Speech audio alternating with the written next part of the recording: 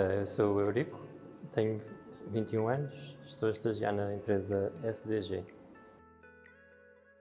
Uh, neste momento ainda só tenho a licenciatura de, de Engenharia Mecânica, mas estou no mestrado integrado de Engenharia Mecânica.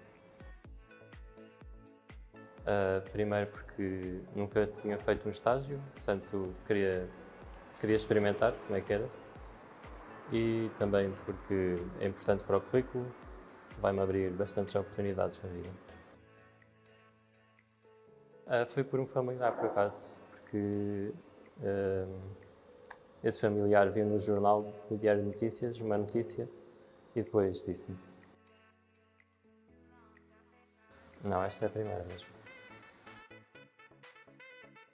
Uh, vai ser bastante útil, porque estou a aprender uma ferramenta bastante importante no, no meu campo, da engenharia mecânica, e há muitos, muitas poucas pessoas já, uh, que sabem utilizar essa ferramenta de forma eficaz, portanto vai-me abrir bastantes, bastantes portas.